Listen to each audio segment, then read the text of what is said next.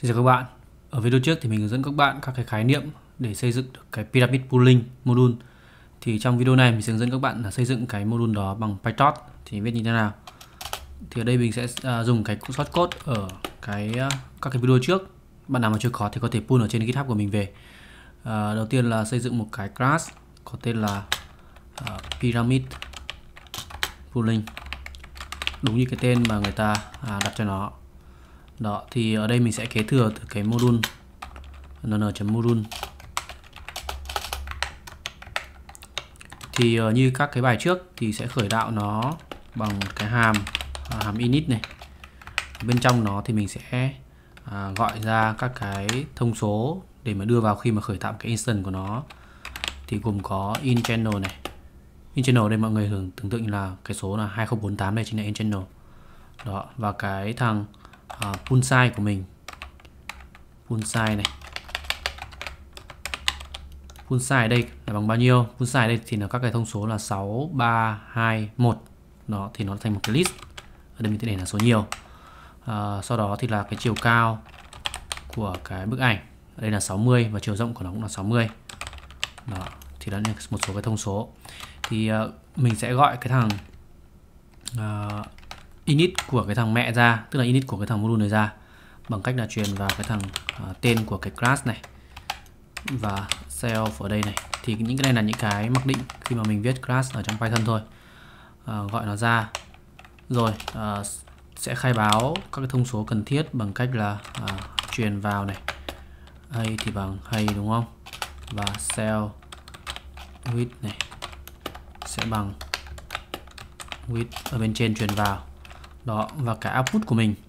À, cái output channel các bạn tưởng tượng là khi mà đưa vào các cái pooling size này à, sử dụng cái adaptive uh, average pool thì sau đó đi ra thì nó sẽ được các cái uh, một thông số. Thì cái thông số đấy mình phải chạy qua cái thằng convolution uh, 2D batch norm redo này để nó ra cho mình các cái tensor. Thì các cái tensor này các bạn để ý là từ 2048 nó sẽ thành là 512 đó thì nó tách cái thằng uh, Ờ, số channel đầu tiên của nó ra. Nếu mà các bạn chia đây làm 4 thì nó sẽ 2048 chia cho 4 thì đúng bằng uh, 512 đó. Thì cái số này cái số 512 nó chính là cái số channel ban đầu của các bạn. Là input channel này. Chia cho cái thằng số lượng của các cái pooling size. Đấy số lượng của pooling size đây thì mình có bốn cái một cái list có bốn cái. Như vậy là mình sẽ tìm một cái thằng output channel đây bằng cách là đặt là out channel đúng không? Out này channel này sẽ bằng à, để số nhiều để cái số nguyên của nó tức là à, chuyển vào cái input channel này là 2048 này và mình chia cho cái số lượng của cái list chiều dài của cái list thì cái list đấy chính là cái thằng pool size này. Đó thì mình sẽ tìm được cái thằng uh, đầu ra của nó là 512 Thế nên là mình sử dụng cái 512 này để mình đưa uh, vào các cái thông số tính toán để gọi ra cái thằng convolution uh, 2D Batch Norm Renew này mình đã tạo ở các video trước. Đó thì uh, đến đây thì bắt đầu sẽ uh, khai báo này một số cái thông số và mình memo ra. Thì ở đây cái thằng pool size của mình bao nhiêu? Pool size này. Pool size của mình nó sẽ là các cái thông số là uh, định dạng là 6 này 3 này 2 này 1 đó 6321 thì các bạn nhìn vào đây là chính là các cái size của cái pool này 6321 rồi thì ờ, để mà tiện thì bình thường nếu mà viết ờ, theo vòng for thì nó sẽ khó hiểu. Thì ở đây mình sẽ viết luôn ra cho các bạn là không dùng for nữa. Thì đầu tiên là tạo một cái uh, average pooling của các bạn. Nó chính là uh, cell này av này avg tức là average này uh, av thôi và pool này. Pool đây mình đặt là một đi. Đó thì nó chính bằng gọi ra cái hàm adaptive pooling của nó bằng cách là adapt này. Uh, adaptive này và avg này. Sau đó là pool 2d đó thì nó có cái hàm số như thế ở trong PyTorch nó cái, cái, cái cục đen đen này chính là cái hàm số uh, adaptive pooling. Rồi thì mình sẽ đưa vào cho nó các thông số gì? Ở đây sẽ là cái thằng uh, output size của mình này. Cái output size ở đây nó sẽ có một cái hàm một cái option. Uh, có tên là output này. Size của nó thì mình đầu tiên mình sẽ để là output size 0 tức là bằng cái thằng pull size 0 này. Pull size 0 của mình tức là 6 đó. 6 sau khi tạo như thế xong thì mình sẽ được cái thằng uh, màu đen cái cục màu đen P6 này. Rồi thì uh, tạo tiếp cái thằng self này chấm uh, convolution masnom này denu này. Đó và mình để đây là một. Tức là mình sẽ tạo tiếp cái cục cục này. Cục này bằng cách là uh, mình sẽ dùng cái convolution masnom denu này. Đó cái class này thì mình đã tạo ở trên uh, các class vi các video trước rồi bây giờ mình chỉ gọi là ra thôi. Đó thì truyền nó cho nó vào những cái gì? Truyền cho nó vào cái thằng in channel này các bạn có thể xem lại được. Đây các bạn nó trong ờ, video studio code thì nó lúc các bạn gọi hàm ra thì nó sẽ hiển thị cho các bạn các cái thông số các bạn cần truyền vào. Thật sự là in channel này out channel này đó kernel size đúng không? Và out channel của mình bao nhiêu này? Đó và sau đó là kernel size này. Kernel size mình để là một đi các thông số bình thường thôi. Try mình để một.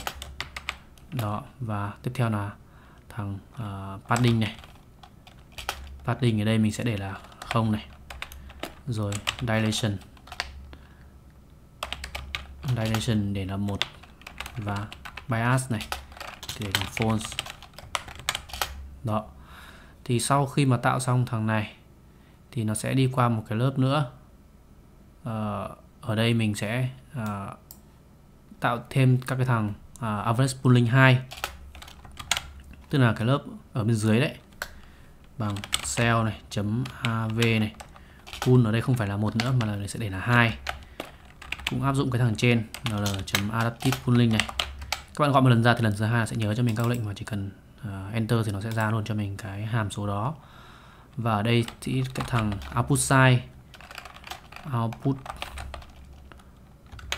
size của nó mình không để là thằng 6 nữa mình để là 3 3 thì nó sẽ là chính cái thằng pool size ở vị trí số 1 đó. vị trí số 0 thì chính là thằng 6 này. Vị trí số 1 thì nó chính là thằng Ờ, uh, 3 đó. Sau khi mà tạo xong thì sẽ tạo thêm cái thằng self này chấm ờ, uh, conversion max norm ở đây phần là hai. Mình xuống cái dòng thứ hai rồi. Tạo như thế thành thành bốn dòng liên tiếp. Rồi thì uh, copy cái phần này tiếp này và các bạn. Dán xuống dưới. Dán dưới thì cái cái channel của nó lúc này uh, các bạn sẽ tính được là lúc đi vào lúc đi vào của nó vẫn là cái thằng uh, in channel này. Và đi ra thì là thằng out channel đây là 512 vẫn là 512 ở đây. Đó và kernel size bằng 1 này uh, try bằng 1 này padding này cũng bằng 0 mình để như thế. Và dimension bằng 1 và thằng phone tức là các cái định nghĩa thì nó giống với thằng ở bên trên. Đó tiếp đến thì mình sẽ copy nguyên cả thằng này và mình thay vào thôi thì thằng này bây giờ sẽ là số 3 này. Cái dòng thứ ba rồi. Dòng thứ ba và cái pooling size đây là để là cái pool size để là hai. Rồi pool size để là hai ở đây. Và sau đó vẫn gọi cái thằng uh, convolution maximum renew 2 ra. À, maximum renew ra. Ở đây mình để là 3 này. Input channel out này và kernel size này. Kernel size đây và strike một, padding bằng không, dilation này bằng 1 và false đó tiếp theo làm tương tự với thằng số 4 bây giờ xuống dòng thứ tư. Chính là dòng này. Dòng này thì cũng để tương tự như thế. Và lần này cái thằng à, uh, pull size là vị trí cuối cùng rồi. Tức là nó sẽ vị trí nó à, ở đây là điền 3 vào. Đấy, index bằng 3 tức là nó sẽ là cái số thứ tư. Một ở đây giá trị cho một cho mình. Rồi cái tương tự cái này thì là 4 này. Chuyển thành k thứ tư rồi. Sẽ để là 4 và cái này cũng là 4 này. Tương tự giống ở đây này. Đó và các con số thì nó giống nhau thôi. Đó thì là mình đã khai mình đã à, tạo ra cho các bạn các cái uh, phần màu đen này và cái phần uh, liên kết ở đây. Convolution mass norm uh, denu ở đây. Bây giờ mình uh, khởi tạo xong rồi. Khởi tạo xong cùng một cái class rồi. Bây giờ mình sẽ uh, gọi cái hàm forward ra thôi. Def này. Thì cái hàm forward này nó chính là định nghĩa cho cái việc mà các một cái tensor đi vào một cái tensor đi vào 2048 chiều 60 x 60 cái size. Đi vào thì nó sẽ chạy như thế nào ở trong các cái block bên trong mình vừa vừa viết bên trên. Đó thì ở đây sẽ đưa vào một cái thằng cell chính là cái thằng instant mình tạo ra ở đây dùng các thông số này. Và đưa vào cái thằng x ở đây chính là cái bức ảnh của mình. Không không hẳn là bức ảnh đâu nó chính là một cái uh, feature một cái tensor mà nó đi ra từ cái thằng uh, uh, module cái thằng convolution module ở, ở video trước các video trước mình đã làm. Đó feature module. Đó thì uh, ở đây sẽ tạo ra một cái là thằng a1 này. A1 ở đây chính bằng self này chấm cbr này. Uh, một và đưa vào cái thằng self này. Cái gì? Nó chính là cái thằng khi mà đi qua cái thằng pull link này 6 ở đây đúng không? Tức là mình sẽ gọi ra cái thằng à, avg pool 1 av pool 1 và nó sẽ đi vào x. Đó, tức là x x nó đi qua cái thằng p6 này. Và sau khi được kết quả thì nó sẽ đi qua cái thằng cpa 1 ở đây, chính là thằng này. Đó, ý nghĩa của cái câu này là như thế. Rồi, thì cái thằng A1 này nó sẽ đi qua một cái thằng ờ, ở đây mình có giải thích là nó sẽ phải đi qua một cái module tiếp theo, cái layer tiếp theo, chính là cái thằng up này này. Cái thằng màu xanh này, up này nó chính là cái thằng mà nó sẽ resize cho mình tăng cái chiều uh, cái chiều của bức ảnh từ 6 x 6 lên thành 60 x 60 thì nó sẽ dùng một cái hàm ở trong thằng ờ, uh, PyTorch tức là mình sẽ dùng A1 này bằng F này và chấm inter uh, interpol interpolate.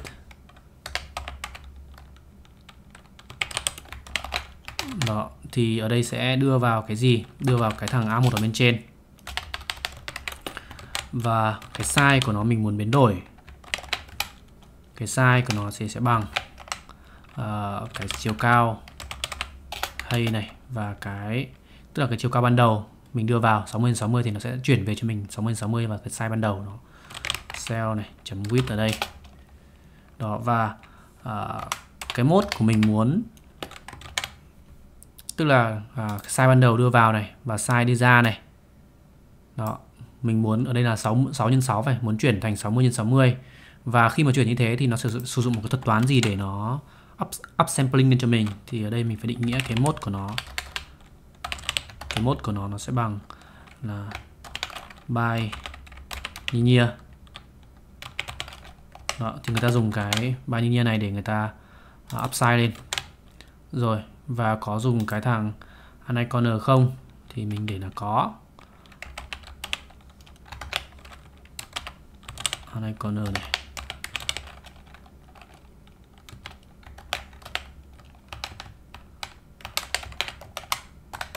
Bằng chu ở đây là đây. Đó thì đã được một cái uh, lớp đầu tiên. Một cái dòng đầu tiên.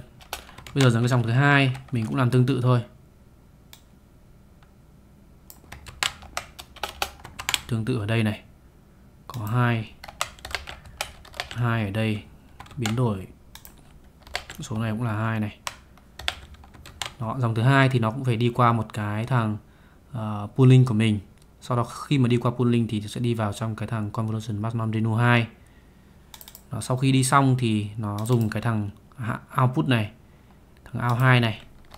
Nó đi xuống để nó đi chạy vào trong cái thằng uh, interpolate này để nó up sampling lên cho mình. Đó size thì cũng là 60 x 60 60 x 60 đó, và các cái phương pháp để upside thì cũng giữ nguyên. Rồi, tương tự với thằng số 3 và thằng thứ tư. Đó, mình chỉ thay thay các cái con số là 2 và 3 thôi. Ở đây là 3 này 3 này, cũng là 3 này. Đó, sau khi mà đi vào 3 thì nó sẽ, ở đây là 3 và ở đây cũng là 3 tiếp theo là 4 này. Nó khi mà các bạn nhìn hình các bạn uh, làm thì nó rất là dễ. Rồi. Đó thì đến đây là được cái thằng um, các cái output rồi. Thì bây giờ mình kết hợp các output lại với nhau như thế nào?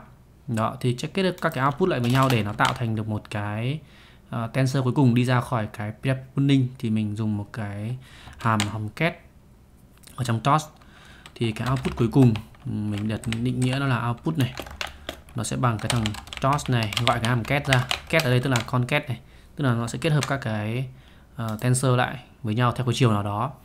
Ở đây thì uh, sẽ phải khai báo theo kiểu là ao 1 này. Đó ao 2 này. Và ao 3 này. Sau đó là ao 4 đó thì mới có ba bốn cái dòng bên trên thôi. Còn cái đầu tiên đi vào nữa. Cái đầu tiên đi vào thì giữ nguyên nó cứ chạy như thế đến luôn đến cái thằng cuối cùng mà nó không có uh, tham gia vào cái quá trình biến đổi nào cả. Trên nó chính là thằng x luôn. Thằng x đi vào thì nó vẫn là thằng x đi ra thôi.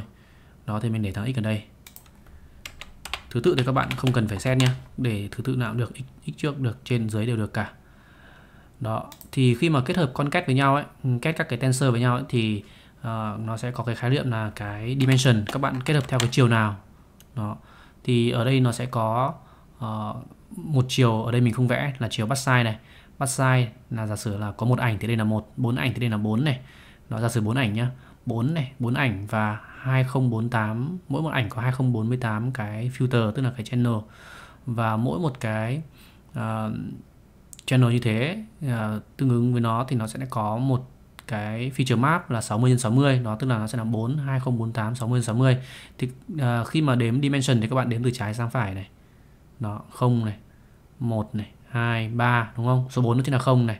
Cái 2048 này chính là một. Như vậy là cái phần channel này nó chính là cái có dimension là một. Bây giờ là kết hợp chữ dimension uh, channel với nhau thì các bạn chỉ cần dim ở đây là bằng một. Đó thì nó sẽ kết hợp cho mình. Là thành tạo thành hai năm à, 512 này 512 512 bốn cái 512 này thành 2048 và kết hợp với cái 2048 lúc đầu đi vào thì nó sẽ được là 4096 đó cho các bạn.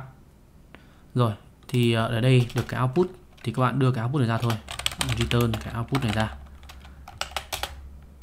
Đó thì đó là xong được cái thằng uh, PWP Pooling cho mình. Đó thì các bạn để ý rằng là ở trong này mình đang sử dụng một số cái hàm số của Chos uh, ờ, giả sử như là Chos này Chos mình có khai báo bên trên rồi. Còn F F tức là cái function uh, functional ở trong cái thằng PyTorch trong thằng Torch. Bên mình xem mình khai báo chưa? Mình chưa khai báo thì bây giờ mình sẽ khai báo nó vào bên trên uh, import này. Torch.nn này và nó có một cái hàm gọi là uh, functional này. Mình đặt nó là f. Đó thì cái thằng uh, interpolate nó sẽ lấy ra từ cái thằng trong cái thằng uh, bên trên này từ trong cái thằng functional này của mình. Đó thì video này mình đã hướng dẫn các bạn tạo ra được cái thằng uh, class uh, pyramid pooling. Xin chào và hẹn gặp các bạn.